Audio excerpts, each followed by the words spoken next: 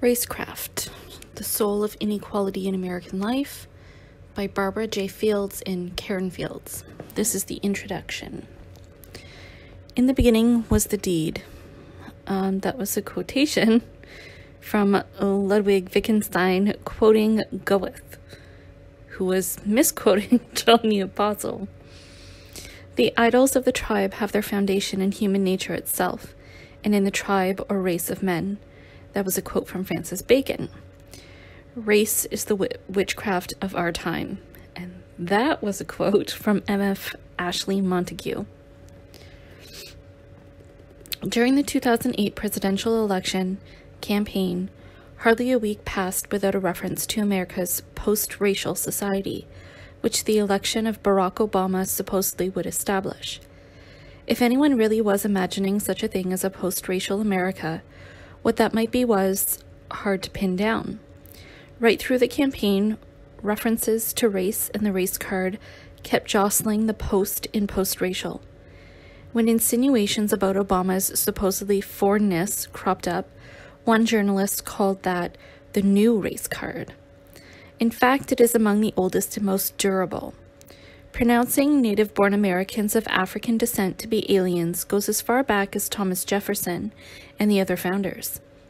More than a century later, D.W. Griffith's Birth of a Nation launched American cinema with the same pronouncement in its opening sequence.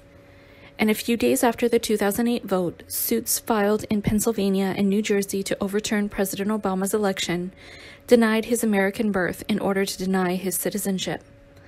Far from holding mere playing cards in their hands, those who brought suit had historical bedrock under their feet and a ready made place in national discourse. How and why a handful of racist notions have gained permanent sustenance in American life is the subject of this book. Other supposedly new notions are just as old and as deeply embedded. Today's talk of biracial or multiracial people rehabilitates mulatto, quadroon, octoroon, and the like. Yesterday's terms for mixed ancestry. Although they now reemerge in the costume of post racial progressiveness, not to say a move toward an ideal future of racelessness, their origins are racist. Mulatto made its first appearance on the U.S. Census in 1850 after two theorists, Josiah Nott, a physician, and James DeBow, a polit- uh, political economist, decided to classify and count individuals with one parent of African and one of European descent. Today's lobbying for a new census classification called multiracial defines it the same way someone with two monoracial parents. Does it matter that these citizen rejuvenators of obsolete racist categories cannot reasonably share the agenda of their predecessors? To validate the folk theory that mixed offspring are degenerate in mind and body. Today, some parents passionately seek a state sponsored classification as a means of protecting their own children from feelings that enter all American children's minds via toxic drip. Self esteem is directly tied to accurate racial identity, said one mother. Whatever she thought she was seeing about mixed ancestry and mental health, the very phrase accurate racial identity ought to set off sirens. Dangerous lies do not always dress the part. Where but in recycled racist fiction are monoracial parents to be found to serve as guarantors of accurate racial identity? The least one can say is that the fiction mi- misrepresents the American experience. According to an estimate derived from decades of census reports, some 24% of Americans listed in 1970 as white probably had African ancestors, while more than 80% of those listed as black had non African ones, which implies that there were nearly twice as many white as black Americans of African descent. Thomas Jefferson's descendants fit both descriptions. But misrepresentation is not all. While redacting America's real history, the fiction revives an old fallacy the move, by definition, from the concept mixture to the false inference that unmixed components exist, which cannot be disproved by observation and experience because it does not arise from them. In the 20th century, that logic had hideous real world consequences. In the comparative innocence of the 19th, the same logic aligned itself with a zeal for measurement and percentages of mixture between theoretically unmixed individuals beckoned as avenues of further investigation. In due course, the Census Bureau experimented with the classifications quadroon and octoroon, respectively, an individual with a black grandparent or a black great grandparent. Some states enacted laws to prevent people with African ancestry from passing as white and set up genealogical research procedures to detect violators. In sum, restoring notions of race mixture to center stage recommits us, willy nilly, to the discredited idea of racial purity, the basic premise of bioracism. The latter, meanwhile, is neither gone nor forgotten. Bioracism is a more precise appellation for the 19th century research, just sketched than the more usual term. Race science. For all the measuring and experimenting that research inspired, it failed as science. Modern genetics began afresh and on a basis so different as perhaps to deserve labeling non racial. Race in today's biology is not a traditionally named group of people, but a statistically defined population. The definite, or sorry, the difference in frequency of alleles between populations, contiguous and interbreeding groups of the same species. Unlike the units of bioracism, these populations are not held to be visible to the naked eye or knowable in advance of disciplined investigation. So the news is not good when scientists studying the human genome, adept in some of the 21st century's most sophisticated research techniques, hark back to the old notion yoking those techniques to a system of classifying people that is steeped in folk thought. They have a choice in the matter. Today's probable, probabilistic methods and molecular biological evidence by no means compel resort to the folk system. Indeed, they would seem to be incompatible with it. Therefore, if the scientific logic is indeed non racial, the folk classification ought to wither und- under its influence. To adhere to both old and new is to pick up and put down modern science with shameless promiscuity. However, such picking up and putting down has its defenders, sometimes offering defenses so remarkable as to justify this book's new coinage, racecraft. That term highlights the ability of pre or non scientific modes of thought to hijack the minds of the scientifically literate here, an anthropologist defends the traditional folk classification. After all, genetics has added very little to what scientists, or indeed any observant people, have known for centuries about human groups. Modern genetics can be a bit more technically specific, but the basic, basic truths are not new. The anthropologist proceeds to justify, on grounds of, on grounds of data processing convenience, the routine use of subjects' race as categorical checkbox variables in studies to identify epi- epidemiological risk factors. Notice that even where properly genetic risk factors exist, no part of the procedure, as described, prevents the subject's race from being taken before the fact to explain whatever is found after the fact. A psychologist has noted the garbage in, garbage out circularity of elegant experimental designs and statistical analyses applied to biologically meaningless racial categories. The checkbox method reduces genetics to a matter of querying or simply glancing at the research subject. If looks like genetics and says so genomics are respectable tools, what indeed could modern science add to popular belief? Fortunately, not all American scientists choose to yoke their technological racehorse to the centuries old ox cart. J. Craig Venter, whose imagination accelerated to warp speed the race to map the human genome, reflected on his work autobiographically in A Life Decoded.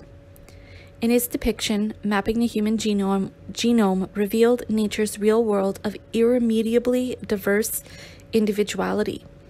Venter's own, the first genome ever to be posted online, as well as everyone else's. Nature's world of diverse individuality is precisely not one that observant people have known about for centuries. Rather, that world stands open to fresh discoveries about nature and the makeup of human beings. Venter links his own susceptibility to asthma to probable genetic determinants that he shares with various statistical populations of Americans. Presented in a series of insets, his own particulars disclose enormous complexity.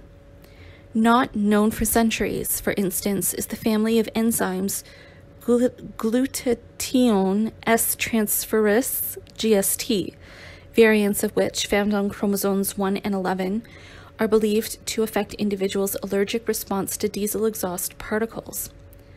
Other sites also seem to be involved. Venter's own combination may be read, and the reading suggests why he must reach for an inhaler on a foggy San Francisco day. Venter's way of introducing new science to a lay public seems more in accord with the ingrained individualism that so impressed early visitors to America, like Alexis de Tocqueville in the 1830s, than with the ingrained anti individualism that the very word gene evokes for many today. Venter makes few concessions to that anti individualism, whatever phase of his work of life he is recounting and race has no entry in his book's index. When questions arose about his decision to take his private Human Genome Project's five samples from individuals who differed by what Americans call race, he implied that the point was to help illustrate that the concept of race has no genetic or scientific basis, and that there is no way to tell one ethnicity from another in the five Celera genomes surely a caution against the widespread habit of treating race and genetics as though they were interchangeable terms. Later, he told a BBC interviewer that skin color as a surrogate for race is a social concept, not a scientific one. Venter was surely mistaken, however, when he suggested that greater scientific literacy might help combat altogether predictable discrimination in the use of genomics. That bit of naive catechism glares amid the sophistication of the book as a whole. Few can claim greater scientific literacy than James D. Watson, a Nobel laureate for his work in, on DNA and founding director of the Public Human Genome Project. Yet remarks he made to interviewers during his 2007 book promotion trip to London owed less to that scientific literacy than to the racist certainties in which many Chicagoans of his generation were reared. Pronouncing himself inherently gloomy about the prospects of Africa, Watson said that all our social policies are based on the fact that their intelligence is the same as ours, whereas testing says not really. Indeed, in his view, reason is not properly regarded as some universal heritage of humanity. For evidence, however, the man of science resorted to personal impressions, haphazardly collected. People who have to deal with black employees find this is not true. From his digest of anecdotes, he went on to prophesy that genetic evidence for black people's lesser intelligence would emerge within a decade. But his statement does not acquire validity because a duly ordained scientist utters it. The sirens went off immediately. Certain of Watson's fellow molecular bi- biologists took the floor with a scientifically correct formulation. It was not possible to draw such conclusions from the work that has been done on DNA. Dr. Venter, who happened to be traveling in the United Kingdom at the same time, said, There is no basis in scientific fact or in the human genetic code for the notion that skin color will be predictive of intelligence. For his part, Watson did not defend himself by citing his own scientific work to date or anyone else's. Reporters later observed that he at first denied what he had said and seemed stunned, perhaps, and seemed stunned period. Perhaps a pre scientific layer of his mind had taken over momentarily. Not all who piled onto Dr. Watson can claim to differ fundamentally from him. Shortly after he published his own genome online, scientists at Iceland's Decode Genetics startled the world with a revelation. Watson had 16 times more genes of black origin than the average white European. 16% rather than the 1% that most of his origin would have. This level is what you expect you would expect in someone who had a great grandparent who was African. In other words, Dr. Watson is someone whom 19th century census takers would have classified as an octoroon if they had been able to see behind appearance. In those days, a technology able to expose genes of black origin, expressed in percentages no less, would have appealed to people who yearned for a surefire way to know an octoroon when, when you could not know by looking. Watson's comeuppance, so deliciously prompt upon the sin, occasioned so much laughter that it is easy to miss the unhappy fact that Decode Genetics' researchers themselves yoked the new technology to use to the uses of yore. As if all that were not enough, now comes a technofad that purports to determine the so called tribal origins of Afro Americans with the help of personal genetic histories. The same method and logic might equally have revealed Dr. Watson's African tribal origins to the world. Anyone who is committed to thinking of tribes as objectively occurring biological phenomena cannot think differently about bio-racists' race or races. What an irony, then, if the World War II defeat of the Nazis did indeed discredit race science, only to have the yearning for identity and the jaw swabs of Afro American biogenealogists abet its revival. Whatever the post may mean in post racial, it cannot mean that racism belongs to the past. Post racial turns out to be simply racial, which is to say, racist. Something is afoot that is the business of every citizen who thought that the racist concepts of a century ago were gone, and good riddance, as a result of the civil rights movement.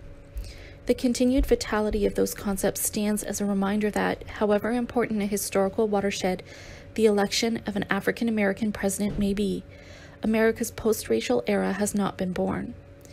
Perhaps it can be made if America lets those concepts go. But if they are hard to let go, why is that? What are they made of? How do they work? And what work do they do? Those are our subjects in the coming chapters. For now, we sketch our answers briefly and bluntly so as not to preempt the essays to come.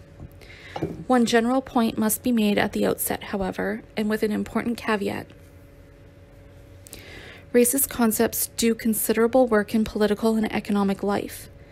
But if they were merely an appendage of politics and economics, without intimate roots in other phases of life, their persuasive their persuasiveness would accordingly diminish.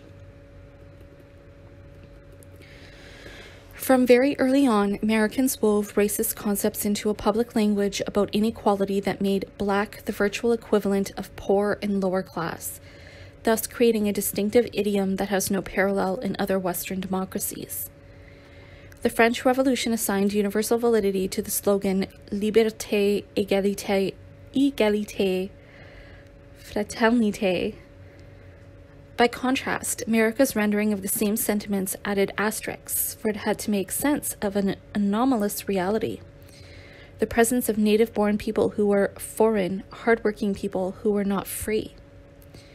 When Tocqueville sought to convey to French readers the racist prejudice he found in the United States, North and South, a signal exception to the enthusiasm for equality that he duly noted, he wrote that he could draw no direct comparison from French experience. Instead, he proposed as an analogy the gut level physical repugnance aristocrats felt toward their equally white but unequally born compatriots. In that tiny vignette of white on white struggles in France lay the kernel of a legitimate public language to come, in which the French might tackle class inequality in straightforward terms. In America, straightforward talk about class inequality is all but impossible, indeed, taboo. Political appeals to the economic self interest of ordinary voters, as distinct from their wealthy compatriots, court instant branding and disfigurement in the press as divisive economic populism or even class warfare. On the other hand, divisive political appeals composed in a different register, sometimes called cultural populism, enlist voters' self concept in place of their self interest, appealing, in other words, to who they are and are not, rather than to what they require and why. Thus, the policies of the 1980s radically redistributed income upward. Then, with economic populism shooed from the public arena, cultural populism fielded something akin to a marching band. It had a simple melody about the need to enrich the investing classes, said to create jobs, and an encoded percussion culture wars, welfare mothers, underclass, race and IQ, black and black on black crime, criminal gene, on and on. Halfway through the decade, as the band played on, a huge economic revolution from above had got well underway.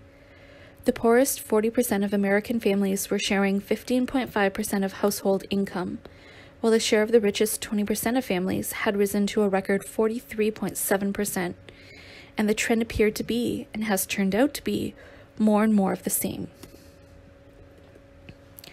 The late Derrick Bell seems to have coined the phrase post racial. In his 1990 essay, After We're Gone Prudent Speculations on America in a Post Racial Epoch, he intended not to gesture at a vague future state, but to examine the relationship between two developments of the 1980s the need to manage politically the radical redistribution of income toward the well to do and the suffocation of public sentiment favorable to civil rights. Bell used allegory. Space traders arrive with a, with a proposal for America's deciders. They will sell America a proven technology for producing unlimited wealth and will buy in return every living Afro American. Their deal poses constitutional and moral problems, obviously, but also a practical one.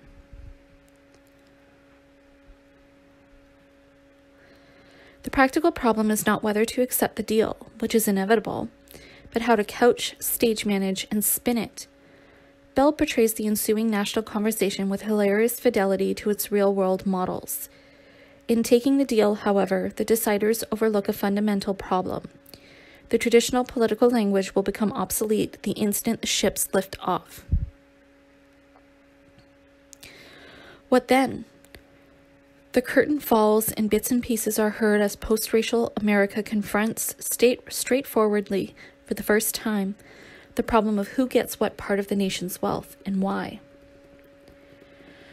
Strange though it may seem, The Bell Curve Intelligence and Class Structure in American Life, 1994, by Richard Herrnstein and Charles Murray, provided a coda to Bell's, to, a coda to Bell's article After We're Gone, 1990. Contrary to its strenuously promoted race and IQ public identity, The Bell Curve is far more centrally a class and IQ book, a story about a society that no longer rewards hard work by the not very smart. Furthermore, the authors, like Bell, not only cite the top heavy income distribution, they also begin where he does, with many white Americans faring badly. Where Bell sees politics, however, they see nature with born winners and losers, not tilted playing fields or policies with intended outcomes. They conclude, therefore, from the same statistics as Bell's, that a cognitive elite has pulled away from the rest of population economically, becoming more prosperous even as real wages in the rest of the economy stagnated or fell. If smart people are gaining ground by virtue of their IQ, hardworking others are losing ground by virtue of theirs. Who now remembers this principal story of the bell curve? In the time it takes to say racecraft, growing class inequality, the shared theme of their work in Bell's, became inaudible despite its prominence in a very long book. Furthermore, if the main story went unheard, the reason is not that the author spoke softly. A year before publication, Charles Murray contributed a Raise the Alarm piece to the Wall Street Journal about the coming white underclass. Burdened with unemployment, illegitimacy, jail, in short, telltale exudations of class in America, not race, Murray's white underclass was identical to its black counterpart. What is more, Murray and Herrnstein made no bones about their scientifico ideological agenda to counteract the perversions of the egalitarian, ideal that began with the French Revolution. Indeed, the bell curve opens with a quotation by Edmund Burke, a fierce detractor of that revolution, who made no bones about upholding the very same natural distinctions that Tocqueville, the aristocrat, deployed as an analogy to American racism. Imagine the fallout if the media had aired then, in a national conversation about class, the truly controversial views of these two authors. Indeed, what might happen today if neoconservatives addressed hardworking, moral, marrying, and until recently respectably employed Americans with the author's lodestar belief? The good society promotes contentment, say they, simply by having a place for everyone, even for those who aren't very smart. Indeed, a valued place. To explain what that place might be, they offer a pragmatic definition at once serene and ruthless. You occupy, you occupy a valued place. Their italics. Oh, that's just, it's in italics. you occupy a valued place if other people would miss you when you were gone. In their version of America's future, the raised voices that Bell imagined are to hold their peace. Perhaps the economic turmoil that lent resonance to Barack Obama's call for change may itself provide an opening toward better things than that. The debacle of the bankers rubbed the gloss from the justifications for inequality that prevailed in the 1980s. Americans of all colors now have good evidence that genetic testing back then for the criminal gene missed a bet by taking samples only among the incarcerated, while ignoring well heeled virtuosos of thievery. Besides, Americans have taken a good look at incompetence rewarded with outsized pay and perks, while ordinary workers' day in, day out competence has failed even to protect their jobs. The image of CEOs gliding into Washington in silver jets, hands outstretched for taxpayers' money, has disrupted the old icons. The welfare mother can no longer stand for what is not right with America.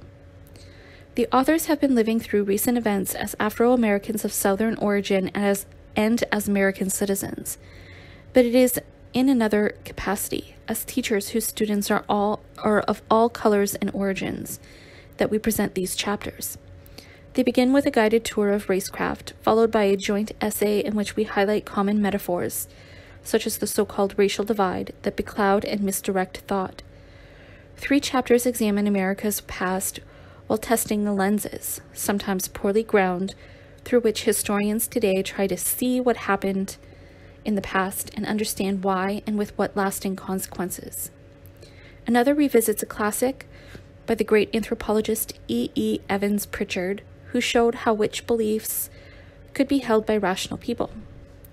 The last is an imaginary conversation between two great sociologists, Emile Durkheim and W. E. B. Du Bois, whose different national histories, French and American, confronted them with similar predicaments. The conclusion synthesizes what the preceding essays show about the intimate interaction between racecraft and inequality in American life. Throughout, we strive to think rigorously about the world of experience that Americans designate by the shorthand race. That very shorthand is our abiding target because it confuses three different things race, racism, and racecraft. The term race stands for the conception or the doctrine that nature produced humankind in distinct groups, each defined by inborn traits that its members share and that differentiate them from the members of other distinct groups of the same kind but of unequal rank. For example, the Races of Europe, published in 1899 to wide acclaim and lasting influence, set out to establish scientifically the distinctness of the Teutonic, Alpine, and Mediterranean races. After compiling tens of thousands of published measurements of stature, shape of head and nose, coloring of skin, hair and eyes, and more, the author, William Z. Ripley, had more than enough quantitative evidence to work with. Indeed, far too much. A taxonomic nightmare loomed up and forced on him a certain flexibility of method, shifting criteria as needed, ignoring unruly instances, and employing ad hoc helpers like the index of nigrescence. to handle the variable colouring of persons indigenous to the British Isles. Fitting actual humans to any such grid inevitably calls forth the busy repertoire of strange maneuvering that is part of what we call racecraft. The 19th century bioracists ultimately vain research for traits with which to demarcate human groups regularly exhibited such maneuvering. Race is the principal unit and core concept of racism. Racism refers to the theory and the practice of applying a social, civic, or legal double standard based on ancestry, and to the ideology surrounding such a double standard. That may be what the economist Glenn Loury intends when he identifies a withholding of the presumption of equal humanity. Racism is not an emotion or state of mind, such as intolerance, bigotry, hatred, or malevolence. If it were that, it would easily be overwhelmed. Most people mean well, most of the time, and in any case are usually busy pursuing other purposes. Racism is first and foremost social practice which means that it is an action and a rationale for action, or both at once. Racism always takes for granted the objective reality of race as just defined, so it is important to register their distinctness. The shorthand transforms racism, something an aggressor does, into race, something the target is, and a sleight of hand that is easy to miss. Consider the statement black Southerners were segregated because of their skin color a perfectly natural sentence to the ears of most Americans, who tend to overlook its weird causality. But in that sentence, segregation disappears as the doing of, se- of segregationists, and then, in a puff of smoke, paf, reappears as a trait of only one part of the segregated whole. In similar fashion, enslavers disappear only to reappear, disguised in stories that append physical traits, physical traits defined as slave like to those enslaved. Jefferson became so entangled in the reversals as to declare that the very people white Americans had lived with for over 160 years as slaves would be, after emancipation, too different for white people to live with any longer. He proposed that slaves be freed and promptly deported, their lost labor to be supplied through the importation of white laborers. His catalogue of differences went from skin color, they do not blush, and internal organs, they secrete less by the kidneys, to intellect In imagination, they are dull, tasteless, and anomalous, and even emotion. Their griefs are transient, he's, he asserted without irony. Even so, as a man of science, Jeff- Jefferson qualified. I advance it therefore as a suspicion only that the blacks, whether originally a distinct race or made distinct by time and circumstances, are inferior to the whites in the endowments both of body and mind.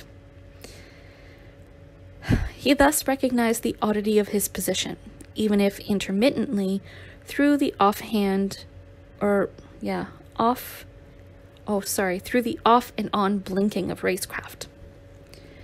Distinct from race and racism, racecraft does not refer to groups or to ideas about groups' traits however odd both may appear in close up. It refers instead to mental terrain and to pervasive belief. Like physical terrain, racecraft exists objectively. It has topographical features that Americans regularly navigate, and we cannot readily stop traversing it. Unlike physical terrain, racecraft originates not in nature but in human action and imagination. It can exist in no other way. The action and imagining are collective yet individual, day to day yet historical, and consequential, even though nested in mundane routine. The action and imagining emerge as part of moment to moment practicality, that is, thinking about and executing every purpose under the sun. Do not look for racecraft, therefore, only where it might be said to belong. Finally, racecraft is not a, a euphemistic substitute for racism it is kind of fingerprint evidence that racism has been on the scene. Our term racecraft invokes witchcraft, though not for the reason that may come first to mind. We regard neither witchcraft nor racecraft as just mischievous superstition, nothing more. A position Loury has rightly dismissed as of little interest. Far from denying the rationality of those who have accepted either belief as truth about the world, we assume it. We are interested in the processes, processes of reasoning that manage to make both plausible. Witchcraft and racecraft are imagined, acted upon, and reimagined, the action and imagining inextricably intertwined. The outcome is a belief that presents itself to the mind and imagination as a vivid truth. So wrote W. E. H. Lecky, a British scholar of Europe's past, who, looking back from the 19th century, tried to understand how very smart people managed for a very long time to believe in witchcraft. He warned that it takes a strong effort of the imagination to realize the position of the defenders of the belief. To realize, in his sense, is to picture a bygone real world of normally constituted people who accepted as obviously true notions that the real world of one's own present dismisses as obviously false. What if we Americans applied that strong effort to our present? Only if we imagined racecraft as a thing in itself worth scrutiny might we imagine ourselves outside or beyond the belief. It is impossible to understand what post racial might be without first understanding more profoundly than we do at present just what racial is. Of course, it is easier to see the movement between imagining and doing, reimagining and redoing, when it is they who are doing it rather than ourselves. Distance can magnify. The they in Europe who believed in witchcraft includes great reformers like Martin Luther, whose wit and logic against the superstition he abhorred crackle on the page. Yet Luther not only made witchcraft accusations, but also repeatedly emerged, physically exhausted, from his own wrestling with spirits. It could not be otherwise. He grew up hearing folk notions about witches and their doings, taking them in with mother's milk and his native tongue. In adulthood, he asserted that a person could steal milk by thinking of a cow, and that his mother had contracted asthma via a neighbor's evil eye. As he lay dying, he saw a demon. Such reports conveyed nothing improbable to him or to his hearers. Their understandings about the world took for granted the existence of an active, well populated, invisible realm that manifested itself in the realm of the seen as real things, events, and persons. Everyday experience reinforced those understandings, which in turn had bearing on everyday behavior and in the recounting of events. Thus, Luther recounts, in a single thought, his mother's chronic asthma and her stated belief that a neighbor's evil eye caused it, and her own explanation that the woman had repeatedly rebuffed her friendly overtures. Today, the incompleteness of this explanation jumps off the page, for our everyday understanding denies power to the gaze. For example, in the common phrase, if looks could kill. For Luther and his hearers, however, physical explanation has disappeared into a thicket of circumstances on the surface of life and visible to all. Local lore and a twice told tale about neighbors thereafter conceal the gap between the illness and the gaze. Thus, for everyday intents and purposes, the gap does not come into view, and the question of ordinary cause and effect does not arise. In that light, consider again the weird incompleteness of the explanatory formula because of skin color. How might an American account for the causal mechanism at work in that phrase? Luther's story about the milkless cow exposes another facet of suspended causality. As before, he begins with a mundane predicament, but rather than ignore the question, how, he answers explicitly.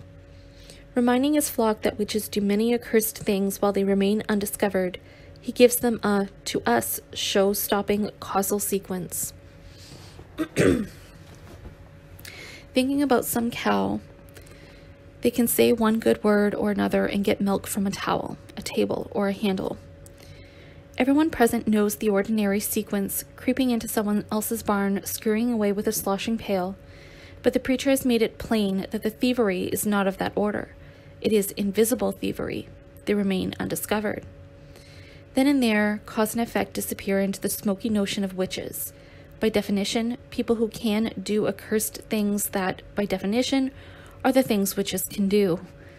Like pure races a while ago, Luther's witches enter the world and come to matter therein, not by observation and experience, but by circular reasoning.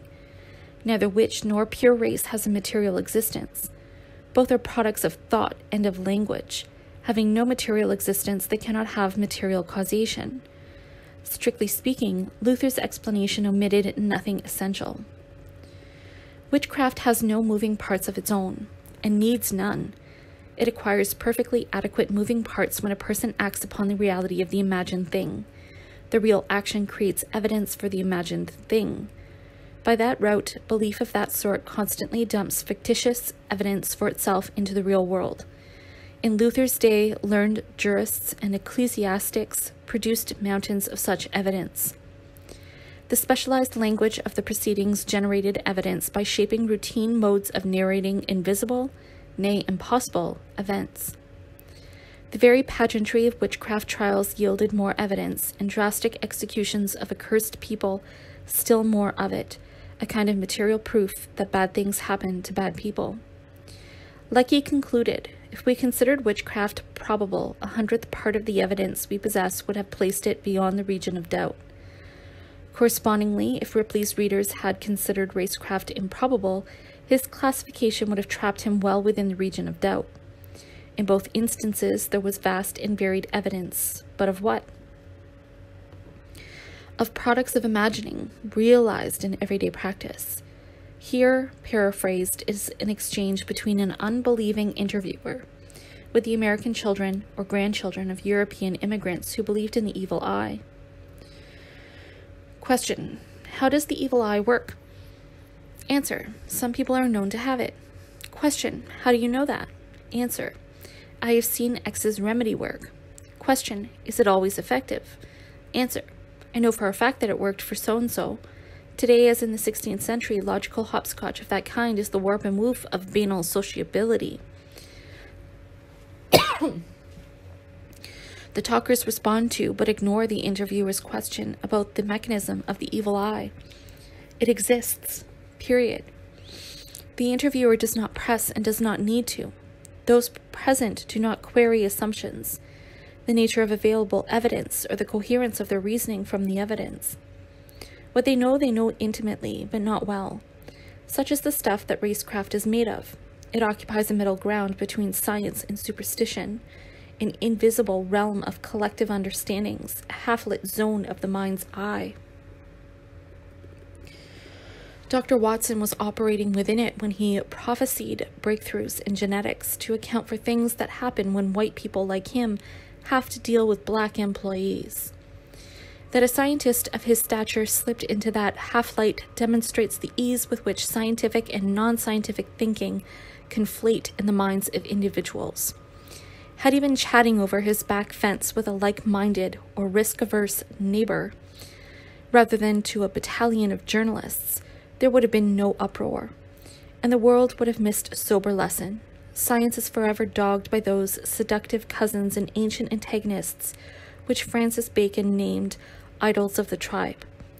In their grip, Luther, a powerful dialectician, held both a workaday notion of cause and effect and a phantasmic folk belief that contradicted it, and so too did his learned contemporaries. Lecky again, the acutest lawyers and ecclesiastics confronted evidence that extends to tens of thousands of cases in almost every country of Europe. For them, as for less well educated people, there was little to impose the idea of absurdity or of improbability on stories about old women riding on broomsticks. What about here and now? Americans acquire in childhood all it takes to doubt stories of witchcraft, but little, little in our childhood leads us to doubt racecraft, for us, as for bygone believers and witches, daily life produces an immense accumulation of supporting evidence for the belief. Think no further than the media born mis- miscellany of things tabulated by race, from hardy perennials like teenage pregnancy to novelties like underrepresentation among blood donors and disproportionate representation on Twitter, constantly churning out factitious evidence for an ever expanding American immensity the so called racial divide. A recent instance carried out under the sign of socio- sociological theory includes familiar features. For example, ma- mapping genomic data onto census, that is, folk, racial categories and assuming a genetic origin for social conduct, with the absent supporting evidence expected any day now. Lecky's subjects had authoritative sources in the science and law of the day. So do we. For them, but no less for us, it is it often is or seems impossible for so much evidence to accumulate around a conception which has no basis in fact. To them, witchcraft was obvious, not odd. Turn now to a tour of racecraft. Will its features seem, fami- seem familiar or strange, obvious or odd?